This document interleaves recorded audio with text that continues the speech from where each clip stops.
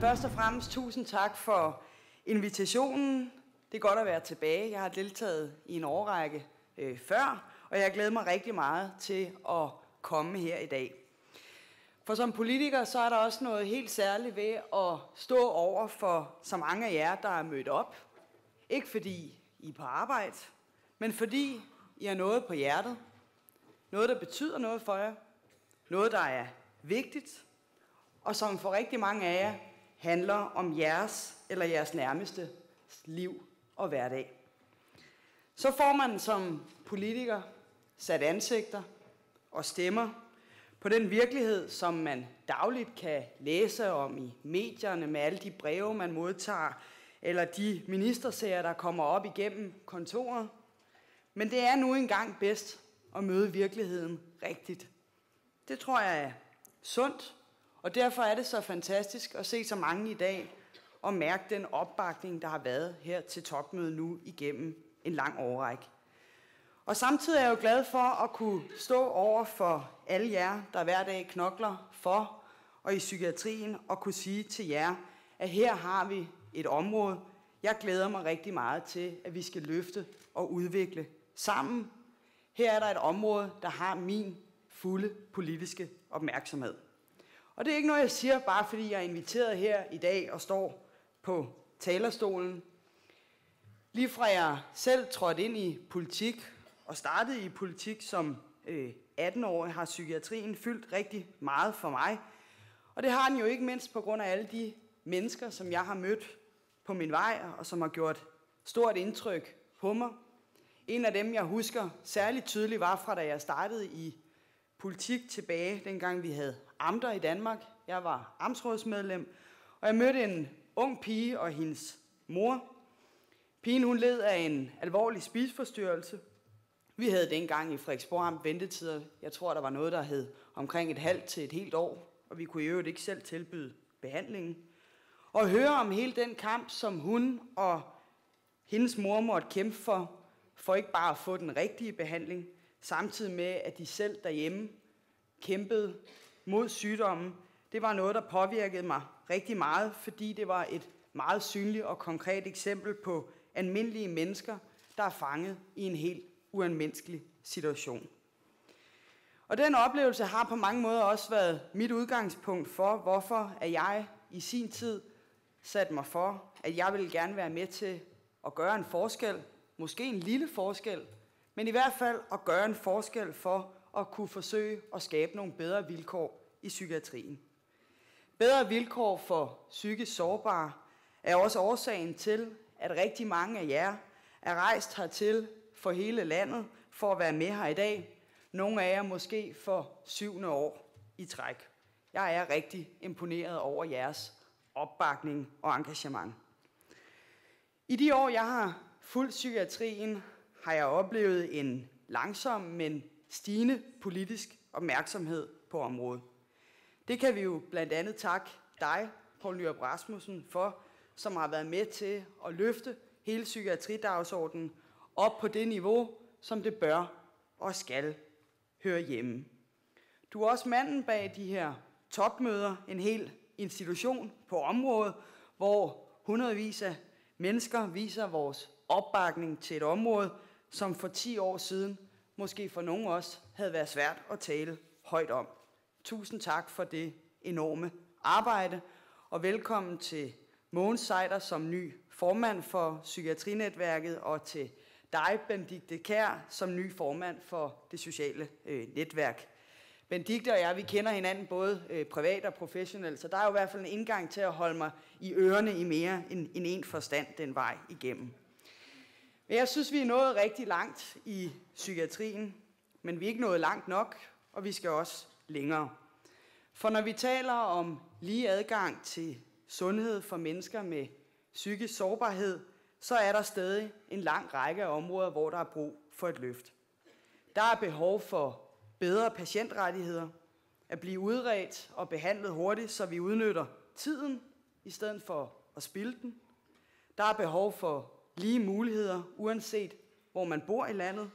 Og der er behov for, at den støtte og behandling, man får som bruger af psykiatrien, at den også hænger sammen og giver mening. Og nu er der sørme også kommet lys op over os. og det passer måske meget godt med det, der skal blive min indledning til det næste. Fordi sidste år skete der jo, kan man sige, det man kan kalde for et held i et uheld. Nemlig at man i Finansministeriet fandt ud af, at man havde regnet forkert igennem en længere årrække omkring de her såkaldte satspuljemidler, faktisk helt tilbage fra, da Poul Nyrup han var øh, statsminister. Og den regnefejl betød så lykkeligvis, at vi i Folketinget stod i den situation, at vi havde nogle milliarder i overskud i den her øh, satspulje, og med pres fra alle øh, Folketingets partier på tværs, lykkedes det at opnå enighed omkring at løfte psykiatrien med 2,2 milliarder øh, kroner. Vi lavede sammen i Folketinget på tværs af partierne en aftale, der over de kommende år skal være med til at løfte psykiatrien på en masse vigtige områder, nemlig at sikre, at vi får flere behandlet, at vi får et bedre og mere moderne byggeri, at vi får uddannet personalet bedre, at vi får mindsket tvangen, og vi får hævet kvaliteten i behandlingen generelt. Det er på mange måder en rigtig god aftale. Det er ikke en perfekt aftale, men det er en rigtig god aftale, også i forhold til at komme videre. Og jeg er ikke i tvivl om, at vi hen over de kommende år vil kunne mærke den aftale i forhold til også at gøre en forskel for dem, som det her handler om i psykiatrien, som patienter, pårørende eller som medarbejdere. Og generelt sker der også rigtig mange gode og store øh, fremskridt i dansk psykiatri, når man bevæger sig rundt, og som man selv kan se. Jeg var for nylig øh, en tur forbi det nye psykiatrisygehus i Slagelse. Helt nye, topmoderne øh, rammer. Jeg har besøgt Psykiatriens Hus i Silkeborg, der på mange måder også var inspirerende. Men når vi taler om lighed for mennesker med psykiske lidelser, så synes jeg også stadig, der er et stykke vej, som også Paul og Mogens meget klogt skriver i det indlæg, øh, jeg så, I havde i øh, i går. I skriver blandt andet om behovet for at få ændret helt grundlæggende på vores normer, når det gælder psykisk sygdom. At vi får en anden kultur i vores samfund, hvor mennesker med psykisk sygdom ikke holdes tilbage af tavshed og tabuer, men opfattes som ligeværdige og fulde af ressourcer på trods af sygdom.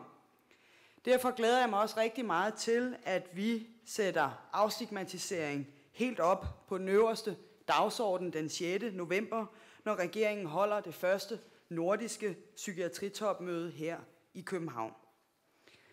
Men lighed, det handler for mig også om at sikre, at vi får nogle mere lige muligheder for behandling. For selvom at vi i Danmark på mange måder jo er et lille land, så er der også nogle forbavsende store regionale forskelle, når det kommer til den udredning og behandling, man som borger får i sundhedsvæsenet. Godt nok har vi alle sammen, uanset hvor vi bor i landet, i hvert fald på papiret, de samme formelle rettigheder, der gælder for os alle sammen. Men ude i virkelighedens verden, der ser det godt nok anderledes ud, end det gør på papiret.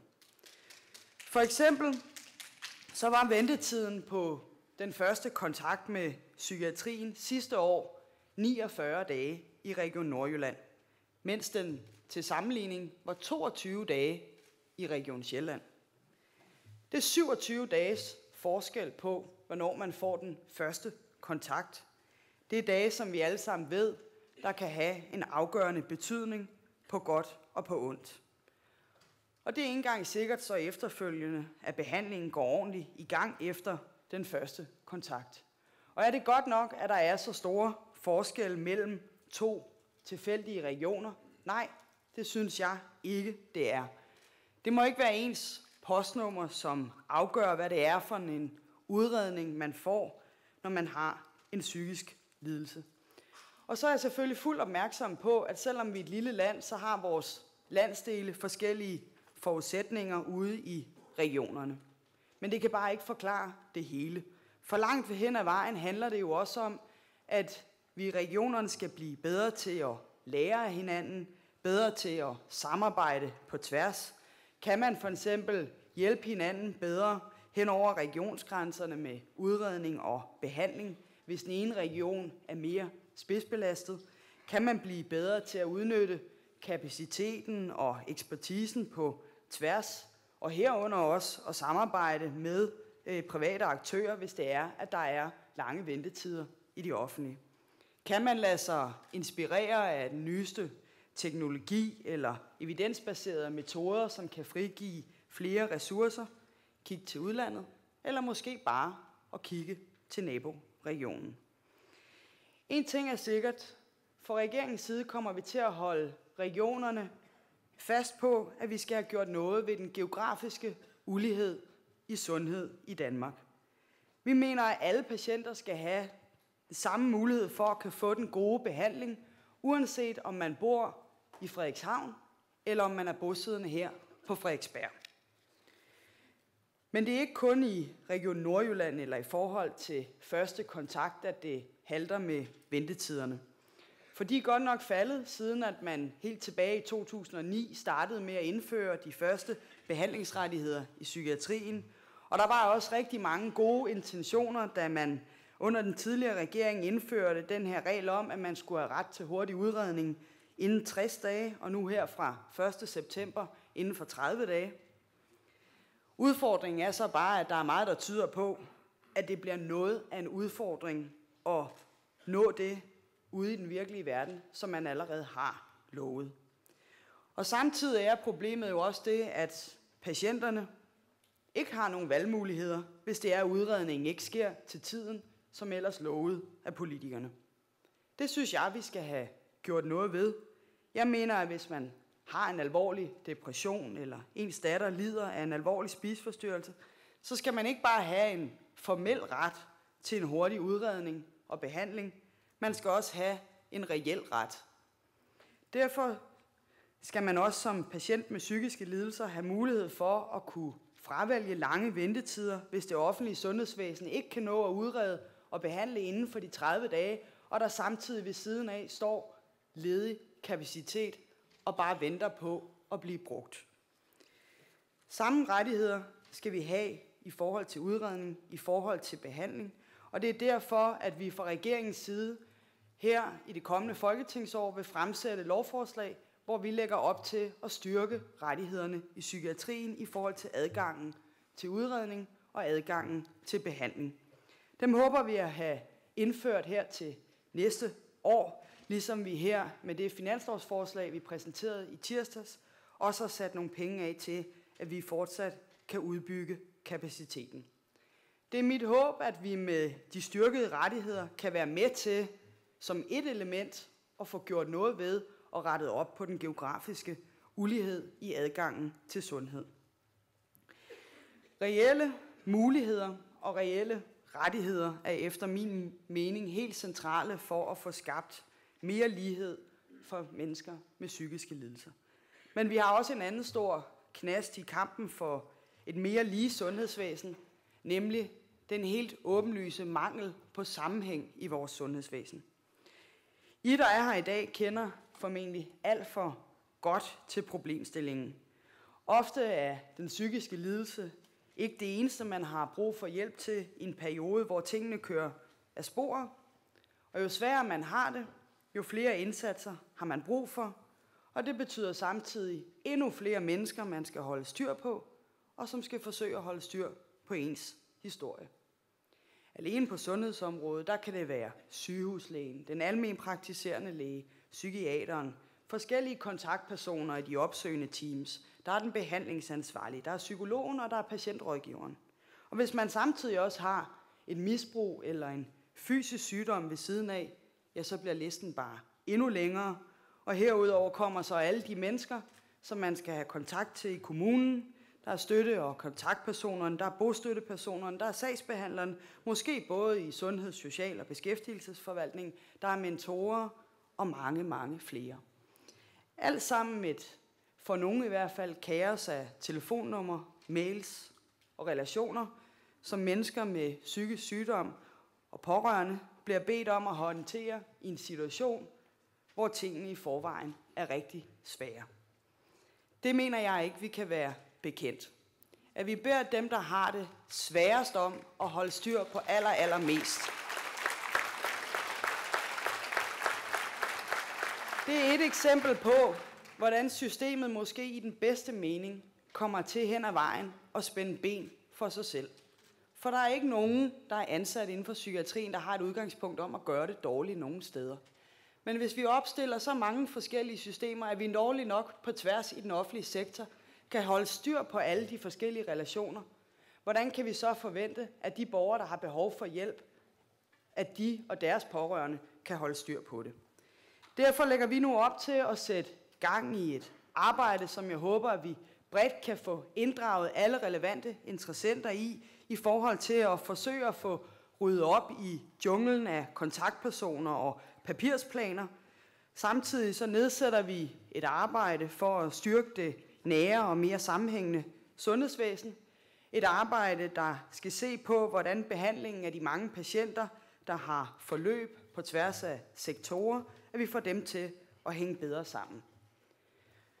Hvordan vi kan få skabt en bedre og mere ensartet kvalitet i hele landet, i både kommuner, almen praksis, på sygehuset, og hvordan vi bliver bedre til at forebygge indlæggelser og forebygge unødige genindlæggelser.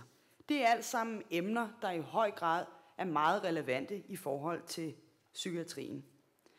Jeg tror på et meget mere samlet sundhedsvæsen, hvor alle patienter, uanset hvad man fejler, eller uanset hvor man bor i landet, skal have de samme rettigheder og muligheder. Og jeg tror på en psykiatri, ja et sundhedsvæsen, der skal blive bedre til at spille med hinanden, ikke mod eller ved siden af hinanden på tværs af faglighed og sektorer. Det er ikke noget, vi kan løse på to minutter eller fra den ene dag til den anden. Det kræver et benhårdt arbejde, men jeg håber, at vi kan sammen stå fast på, at det er den vej, vi skal forsøge at hjælpe hinanden i retning af fremover. Tusind tak for jeres tid, og rigtig godt topmøde videre.